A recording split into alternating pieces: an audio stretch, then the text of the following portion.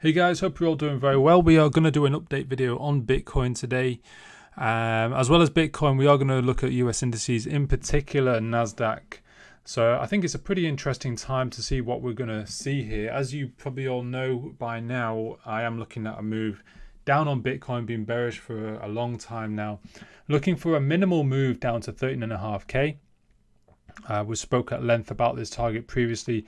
Ultimately, it hits this previous uh, significant high. Uh, there's some corresponding fibs around this point. So I'm not going to go into too much detail about this target. We're going to address what we can expect here in the shorter term. Uh, this is a minimum target, could certainly come down lower, but typically following a five wave parabolic move in Bitcoin all the way to 69k, following a parabolic move as such, historically, it's always retraced between 80 and 90%. So this is a minimum retracement here to 80% being at 30.5k. So with that said, we need to address what exactly is going on here. So as you can see, we're following a downward pitchfork. We've not broken out of that yet. We would need to break this upper warning line to break that downward trend. Um, we had not too long ago this wedge shape to the upside, obviously broke down out of that, but didn't quite take out that low. Okay, so the question is, is it making a more complex correction? Let's zoom in on this. So there is the argument, you know, this is just an initial correction so maybe a W, and then we have an X, and then we have a Y to the upside. Coming into this horizontal level, which is significant, you can see this very significant bit of um, support back here. We then flagged at this point before breaking it significantly, and we might just come back and retest this point. So this sits at around 29K. So there's an argument that we could potentially come up and tag this point. However, there's some very key obstacles along the way. But I must say, if you were to look at this chart in isolation, just looking at the Bitcoin chart, I would say that that looks like quite a reasonable move up to 29k. But as, as I say, there are obstacles. We're going to address them in detail in this video. In particular, looking over on stocks, which I believe are the driving force behind all of these markets. So really crypto is a, a, derivative market. You know what happens in stocks that really demonstrates where you know investor sentiment lies. And if they're struggling it's going to have a knock-on effect across all of the assets in particular on a risky asset such as crypto. Okay so yeah we're going to address why i think we've we've met a bit of a resistance a bit of a ceiling over on stocks and the obstacles we would need to overcome if bitcoin is to push higher. But ultimately I am seeing us come down from here. I'm not I don't I'm not too sure we're going to take out this high here at around 25k. All right? So we'll, we'll go into it in detail, but ultimately I see this as our kind of wedge-like correction, still following our downward trajectory following this pitchfork, and I think we're going to come down further. So there's some overhead resistance that we can see here on Bitcoin. So first thing first and foremost, I want to discuss the um, Let's go on the 200 week simple moving average. Let's just take off everything else, leaving on just the 200, which is this thick black line here. So historically always acted as very good resistance, resist, uh, sorry, support back here, here, here, and then we've come down and tagged it again. Now, historically, when it comes down beneath the 200 week, you know, it only spends a very brief amount of time, you know, a week or so. Uh, when it came down here, Again, so again, it acted as wonderful support. Here, again, maybe a week or two just beneath the line and recovered pretty dramatically. But now, for the first time, we're seeing price staying beneath this 200 week simple moving average for not a single week, not two weeks, but this is looking like more closer to in excess now, probably over 10 weeks. Okay, so it's looking like we're sticking to the south side of this line. And obviously the 200 week simple moving average has always been historically a very key high time frame indicator. It generally tells you, you know, whether you're in the up cycle or down cycle. Now, the longer we spend beneath this, it's likely we're going to spend a longer time beneath it and continue a strong downward trend. So I've got that fear. Now, for me to flip bullish once more, at the bare minimum, we have to be on the north side of this 200 week simple moving average. Okay, I know over the last few days, we've had a bit of a dramatic move, in particular this day here on 9th of September, which for me, this all ties in with a kind of um, the dollar having a breather. Okay, so the dollar has been absolutely flying, which I think has been the main force bringing these markets down, obviously driven by uh, inflation and interest rate hikes. Um, but the, the, there was a bit of a cool off period and we'll take a look at the dollar within this video um, and there was a cool off and I'll show you how dollar is now finding support again likely to keep pushing higher and higher through this year in, in my opinion going into the end of the year and I think that's going to continue acting as that driving force downwards so uh, just bringing on the moving average sorry let's take them off for a moment, just zooming out and focusing on the 200 week simple moving average just to recap. So taking everything else off. So yeah, as long as we're beneath this line, high time frame indicator, I would only be considering short positions. Okay. Um, all right. So that's the first bit of clear resistance, and that would come in at around. It currently sits at around 23.4k. All right, that's around about where it sits. Okay, so the other important thing to consider is the Camarilla pivots. So um, again, Camarilla pivots last four years, let's just expand this so it's a bit more visible, have been really, really useful last four years. So uh, back in 2018, wonderful support, Subsequent year of 2019 range between the R4 and R3, subsequently finishing beneath the R3. So the subsequent year you look for resistance at either R3 or R4. You can see R3 came right down. Where do we find support? S3. We then flew. The breakout suggested that we're going into a strong uptrend for this year. Okay, so then you would want to assess the following year and see how we close that year. And it actually closed strong. Okay, it, it, finished strong. So the question is, are we then to look for support off of the S3 and S4 in this year, or is it a termination phase? Okay, so at this point here, it came down to the S3 and there was a shout that we could push up from here. However, the subsequent move up was very, very corrective looking, three wavish move up, and then plowed through the S3. And then I was looking to see would it find support the S4. Unfortunately, we didn't see that support. We actually broke it to the downside, and now we've retested it and shot back down. Okay, this is all concerning for me. It tells me that this strong finish to the year of 2021 was likely a termination phase in this whole Bitcoin move up from the Genesis. And so the move down which needs to be proportionate and we can expect now likely a close for this year 2022 beneath the S4. Of course, if we manage to reclaim this S4, that is a fantastic would be a fantastic finish to the year if we can finish above the S4 and that sits at again that very key level of 23.4k or 23.5k in and around that region. So very similar position to the 200 week simple moving average. So if we can finish the year above that that would be a huge show of strength for Bitcoin and certainly could suggest that we start climbing higher, maybe retesting the all time highs. However, I'm of the opinion that we finished this year beneath this level. You know, we've already come up correctively in that wedge like formation into this level, and I can't see us just comfortably getting back above. So I mentioned there is a possibility for a complex correction, a first wave, second wave, third wave into 29k. But this is one of the key obstacles here. This S4 resistance, this is one key level it would need to overcome. So we've got that S4 uh, on the weekly Camarilla pivots. Uh, and as well as that, we've got the 200 week simple moving average. So two massive higher time frame indicators that need to be overcome in order to switch bias. Okay, so now just running through the other um, Camarilla pivots. So on the daily, we can see here, so each uh, period here represents a month. So for the month of September, we found support off the S3, which really helped with this uh, shoot up to the upside. Uh, but we we failed to get through the R4 and we've been pinned down once more. As we've seen today CPI data coming out higher than expected. Obviously inflation a lot harder to control than anticipated and we're just seeing price come back down as as we can anticipate the dollar rallying further again pushing all such uh, dollar priced assets down. So yeah so that's the daily uh, here on the here on the four hourly. Again you can see r3 resistance hitting it to a t today um, and just getting plowed straight back down. So there's not much more information off of the Camarilla pivots. Let's just remove those for now and bring back our annotations with the pitchforks. Let's zoom out on the daily. So yeah, um, in terms of this chart, long-term target 13.5k could certainly break through this but it's a very key level we could certainly get a good bounce off of this level hence i'm not getting too greedy about the downside targets but there's some really key and heavy overhead resistance that I'm not too sure we can overcome. So I'm not, uh, although this was a fast move up and pretty aggressive, I would tie that to the fact that the dollar was having a cool off period. just kind of take it, coming down a little bit, cooling off, uh, and that allowed you know dollar priced assets to to rally.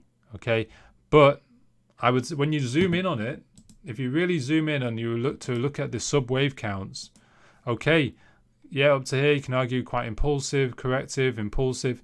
What on earth is that? That is not looking impulsive at all. This is all looking like a corrective move.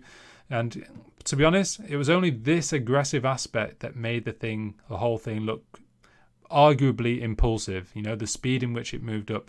If you really break it down, it's all looking rather overlappy. This whole move up from here to here. I personally, I think it's a, a fast-paced corrective move. Okay, and that is in keeping with this strong aggressive move down to the downside that we've had today. Obviously triggered by a catalyst, but the TA still, as I say, looking at the prior move to the upside, doesn't look too impulsive in my opinion, especially this latter stage with the really overlapping waves, quite characteristic of a, a corrective move. Okay, so um, so yeah, with regards to Bitcoin, as I say, we've got our overhead ceiling of around 23.4k. It's not too high this point here, above where we came up to just recently. So that's our overhead resistance. I'm not too sure we can keep pushing higher. Of course, the Elliott wave count here is getting quite ugly, I must admit. So it's not. I wouldn't rely on Elliott wave at this point. Um, it's pretty ugly, and I would be looking at correlating charts, and that's why I would look closely at what's going on in the US indices. So I do want to take a look at those also. But ultimately, still, as the, the main thing I want to get across here is that I've still got the bearish bias. Uh, that is defined by us being beneath the 200 week simple moving average. We're not too far away from that. If we can push back above, there is the argument for this complex correction into 29k up to this point here.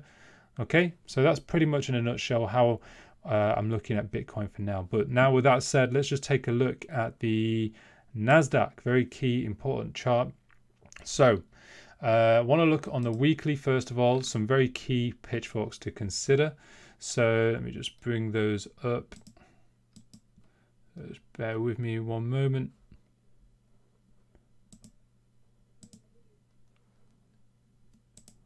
Okay, so first pitchfork to look at is this one here. So this is our post-financial crisis all the way back here. Really rallied very hard and um, yeah, stayed within this pitchfork pretty nicely. Two little blips without outside the lower warning line here, but ultimately this pitchfork has held the price action really, really nicely. Let's take off this fib for a moment. So as you can see, ranging very nicely between upper warning line, lower warning line. So they are very valuable, these uh, pitchforks, certainly a major aspect to my analysis of the charts. And you can see we're just tinkering on this uh, border here, the lower warning line. Again, when that breaks, it's generally a sign that we're breaking the trend, this upward trend. Of course, we had blips beneath it before and we recovered well. But how long can we keep having these movements down? And as I say, the longer you spend beneath these key lines, the more likely you are to to stay, you know, in a, a more prolonged downward trend. Okay, so that, that's the initial pitchfork for the long-term price action. Just wanted to show you in the kind of bottom aspect of this pitchfork to the upside on the higher time frame. So taking that one off, next key pitchfork, this one to the downside. So daily time frame now to look at this a bit closer. So here we're looking at the key waves down. So first major wave, corrective wave, and then we continue down. So uh, first pivot, second, third, following an original pitchfork suggestive of a steep gradient to the downside. Nice test the lower median line. All the way up, we rallied into the upper warning line then we've shot down. So you can see we're following this downward pitchfork again quite nicely. Again, for me to be, be more bullish on Bitcoin, I would ideally want to see a break of this pitchfork to the upside. So in keeping with Bitcoin getting above 23.4k, I would want to see NASDAQ break this upper warning line to the upside. So this is another kind of um, point that I'll be looking at to flip my bias across uh, stocks and crypto. Uh, so next key pitchfork would be this one. Okay, let's take off the other one. So this is just looking at this kind of relief rally to the upside. And also importantly, there's an important fib here. So the fib from high down to low came into the 50% level, as well as hitting this shift pitchfork, upper warning line, and then we've pinned, been pinned all the way back down. We've rallied from this lower median line into the median line yeah, the median line always acts as very good support or resistance.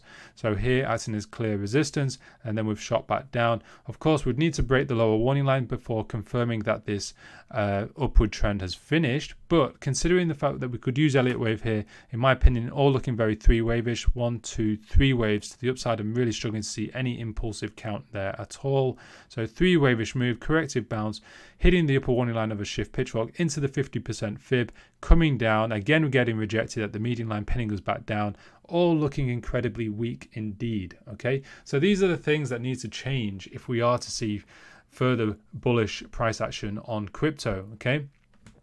So that's this pitchfork, and then there was a one more smaller pitchfork to consider. So this requires a bit of a further zoom in on the four hourly. Again, just following the downward trend, you can see how useful these pitchforks can be. So this is a first, second, third pivot pitchfork here. The modified shift was holding the price action very well. And you could start to see the loss of momentum to the downside. You can see us uh, just hitting the lower warning line and then you see as it further moves down we're just struggling to hit that lower warning line again. That was a loss in momentum of this downward move allowed for this relief rally but only went as high as you can see this upper warning line which is where we've had a strong rejection once more okay? So again just to recap obviously this was triggered by a catalyst today cpi data coming out higher than expected. So inflation is going to be a massive issue Okay, an absolutely huge issue. I'm sure we're all aware of that, but it's important to take into consideration the fact that inflation is driving the markets more than anything else. So, more than the war in uh, well, the war in Russia is obviously contributing to it with oil prices, but this inflation is not just triggered by that. That's the important thing to remember. You've got to take into consideration what was spent during the pandemic. Okay, the degree of spending, and just to put that into perspective.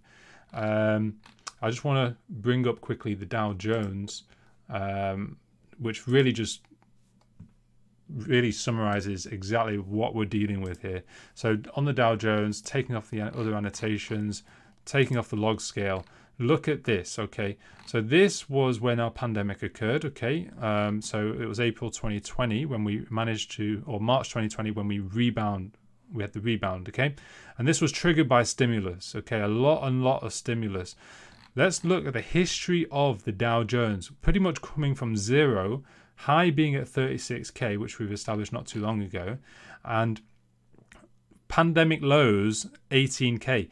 We've doubled the value of the entire Dow Jones, the history of the entire Dow Jones, going back as far as this isn't even the genesis here, but um, yeah, you can see we're looking at centuries here. Doubled the value of the Dow Jones in two years. Okay, so from 18 to 36k, we've doubled the value of the entire stock market. Okay, and that's all triggered by stimulus. So that is the degree of spending that was involved. Okay, that inflation is going to last decades. Okay, it's not it's something that's going to be a quick fix with just hiking the interest rates a few percent. Okay, it is going to last decades. It's going to be very. It's going to be a real battle. It really is. So that's just really to put it in perspective. This is not just you know something that can be corrected overnight. It is going to be around for a long, long time. And yes, the war in Ukraine is going to have an, um, an impact, but it's not the main driving force. As we've seen today, CPI data, we were expecting it to come down because obviously oil prices have come down. As a result, CPI has actually gone higher. So clearly, you know, economic analysts don't have a clue what they're looking at. But just coming back to NASDAQ, another very key thing, I want to show you how we are replicating history a little bit here. So weekly time frame, simple moving average. I want to pull up the, just the 200 is necessary here. Um, so very importantly now, look at what happened in the financial crisis. I'm seeing just almost a mirror image of what happened last time. So as far as I'm concerned, yes, there's lots of different ways you can look at this wave count. There's three obvious waves I see coming down. First, second, third. Okay. Yes, there's smaller recoveries here, one here, one here. The three classical waves on the same degree. I'm looking at a first, second, third. Then we've had a relief rally. I've mentioned earlier that was a 50% relief rally. Where did it come up to?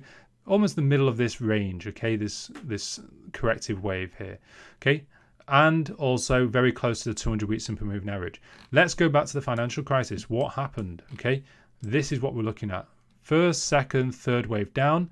into the 200 week simple moving average, relief rally, where did it come into? The middle of this consolidation phase, so the, that corrective phase. So essentially we've seen three waves down into the 200 week simple moving average, correction into that corrective phase, which is exactly what we've seen with current times. Okay, since then we've come back down and we're, we're kind of like within, uh, it's arguable actually whether we're in this phase right now or this phase. Okay, so just coming back to current times. So you can see three waves down, relief rally done, okay, into the middle of this consolidation, you know, into testing the previous range, got rejected, We've had that rally once more, and now looks like we're just coming back down again. And you can expect next time when we break the 200 week simple moving average, as we mentioned earlier in the video, very key high time frame indicator. When that breaks, you can expect investor sentiment to be lost on the macroscopic levels. So this is what happened last time. 200 week simple moving average hit, slight recovery bounce. When we came down next time, crisis, absolute crisis. Okay, waterfall moment.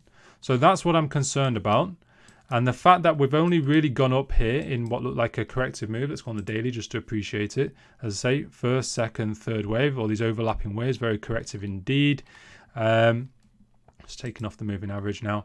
So that concerns me. The moves up are looking very, very corrective. You can argue the moves down are looking corrective also, but I'm just looking at this as the initial corrective move down. So W, yeah, three waves down, W, X, and then we're getting ready for Y. And then that's basically the way I see it happening in, uh, sorry, let's go on the weekly back here also. W, X, and then Y. You can argue, if you zoom in, you can call it a ABC, 1, 2, 3, 4, 5, relief rally. A, uh, so 1, 2, 3, 4, 5. You can argue ABC if you like, but ultimately, there's too much resemblance there, in my opinion. And as I say, I've got deep concerns about this coming down further. Once, it, especially once it comes back beneath the 200 week simple moving average, if that happens, expect it to be a waterfall moment with price coming down a lot faster.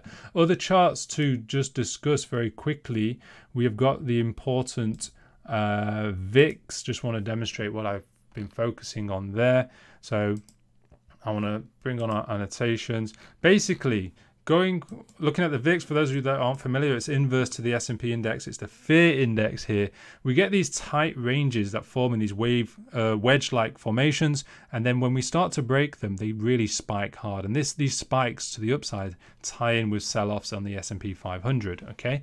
So as you can see when you start to break these wedges we have a strong breakout. We had it here we had it here uh, here once more. And this time it's a little bit more congested, but we've seen the same kind of play out. And I have this wedge here having broken out probably back here. So once the wedge breaks, we generally don't come down and break these lows again. And you can see we're just getting a series of higher lows. So low, so here we go to low, higher low, higher low, higher low. And again, this is a higher low. Yes, it did come down quite far, almost as far as this low, but didn't quite. We've recovered so we'll see what happens now. Are we going to continue spiking higher? In which case, we could be close to seeing this kind of price action here on the fear index. Okay, that would tie in with us coming beneath the 200 week simple moving average on the Nasdaq. Okay, so that's the kind of thing that I'm just got my eyes on. It is concerning. It could play out that way. All right. So last but not least, just want to take a, quick look at the uh, the dollar index that I mentioned uh, would be useful to look at. So pulling up the dollar here. So we are following an aggressive pitchfork to the upside. Okay, it has been a very sharpish move, but it's expected with the degree of inflation that we can expect. So, as I say, I don't see inflation uh, letting up throughout this year. Okay, we would have to really, really start aggressively hiking rates to turn it around. Yes, we're in the upper parameters of this upper warning line. Coming down to the daily, we can see it a bit better. But um, yeah, we've had a bit of a relief here, but I see this just continue. I think we're just going to keep just hovering around this upper warning line into the end of the year. Yeah, at least. Yeah, so that's the kind of play out. We've had that downward move. This is what allowed the stock markets to, you know, gather some uh, pace once more and allow crypto to bounce once more. But now, as I say, with it starting to um, having cooled off, I think we're just going to keep pushing up testing this upper warning line into the end of the year. Bit of it could be a slow burn. Doesn't need to shoot up quite as aggressively as it has done uh, throughout the year. But um, yeah, I, I, think we're just going to keep touching on this kind of upper warning line region. Sorry, this pitchfork best seen on the log scale. There we go. Okay, so the pitchfork it's been adjusted. This pivot here, you can see it's out of place. It's not at the genesis. I'm going to be doing a pitchfork course where I detail all the ways that these pitchforks can be drawn. But essentially, you can see is holding here the price action best. You know, when I've tried altering the different formations of pitchforks, which don't seem to hold the price action well, that is when you would look to maybe consider adjusting the initial pivot. Um, but yeah, it's at this point you can see the cool off has come into the upper median line, which can act as some support and just take us back into this upper warning line once more. So that in essence is what I'm looking at expecting a lot more inflation to, to continue, a lot more rate hikes in terms of interest rates. That is going to be pinning stock markets and crypto down. We've spoken about overhead resistance on stocks and crypto. We've spoken about the replication of what we're seeing in the financial crisis that we're seeing on the NASDAQ right now. So, this is how I'm looking at things right now. Um, and yeah, we'll update as further useful information comes in. There are, other, of course, other catalysts on the horizon. We've got midterm elections in November for the US. We've got for crypto, we've obviously got merge that is on the horizon. In my opinion, these are not the most important factors. Yes, they can be um, positive potentially for stocks, but ultimately inflation is 10 times more powerful, having a much greater impact on the markets than these other catalysts. Of course, merge is huge for crypto, absolutely massive. In my opinion, Ethereum will one day overtake Bitcoin. Um, I think it's got a lot more utility, uh, and once it's more scalable, which Merge will allow, I'm very excited about that. Don't get me wrong. And when we see the crypto bounce, I will be favoring Ethereum. But for now, we've got to put things into perspective. The macroscopic uh, outlook across markets, in my opinion, still looking very, very bearish. All right, with that said, for those of you who are interested in furthering your knowledge within trading, I've got all of everything I've learned within trading here packaged into the works. Alternatively, you can look to Cryptology where I do weekly updates covering Bitcoin, Ethereum, and we touch on NASDAQ as well. Um, and that obviously includes my educational material, both the works and the juice, which is like a smaller course here. Um, and so you have access to those courses while subscribed. So click on any of these to get further information if you do are interested in checking them out. So that is if obviously you're interested in assessing the markets uh, independently by yourselves.